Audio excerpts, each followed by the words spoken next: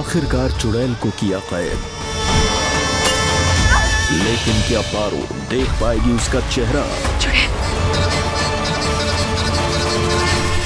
नागमणि, रात साढ़े नौ बजे, दंगल टीवी पर।